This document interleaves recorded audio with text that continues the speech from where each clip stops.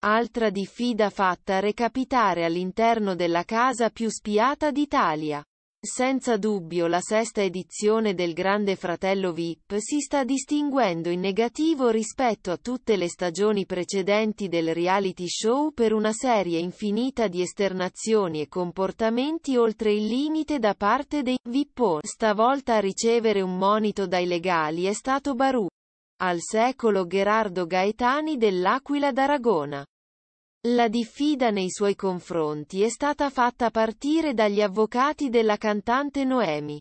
Dopo alcune frasi assolutamente dimenticabili pronunciate dal nipote di Costantino della Gerard, a rendere nota la diffida è stato lo stesso Barù, che, di ritorno da un confessionale, ha confidato a Jessica che i legali dell'artista romana hanno provveduto a metterlo in guardia. Sono stato diffidato da una certa signorina che canta. Ma non posso dire il nome. Ma se mi sveglio con quella musica lì, che ca. O devo così Gaetani parlando con la Selassie la quale, inizialmente, è apparsa disorientata non capendo a che cosa si riferisse. Subito dopo, però, ha compreso di quale vicenda si stesse parlando. Chi è?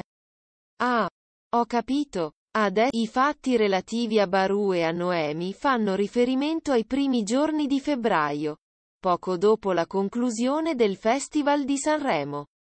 Allora il GFino, nel corso di una mattinata, ascoltando il brano con cui la cantante si è presentata alla Kermesse Canora Ligure.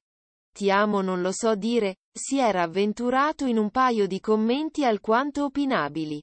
Per usare un eufemismo, dopo quelle canzoni di Sanremo, mi volevo sparare una fucilata nei cog. I. Mamma mia.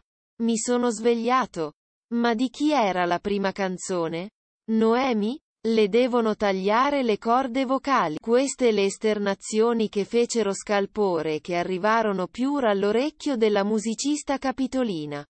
La quale, tramite una stories Instagram, rispondendo a un utente che le aveva domandato cosa ne pensasse delle frasi di Barù. Replicò così?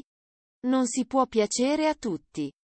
Però perché tutta ora, a distanza di circa 20 giorni dall'accaduto, si viene a sapere che Noemi, oltre ad aver commentato in rete quanto dichiarato dall'esperto di vini, si è anche mossa con i suoi legali tramite una diffida nel tentativo che simili frasi sul suo conto non vengano più pronunciate. Non è la prima volta che si verificano simili dinamiche al GF VIP 6.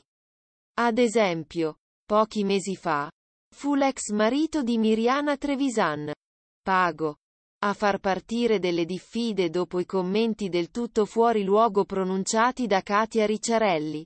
Soleil sorge Giacomo Urtis verso l'ex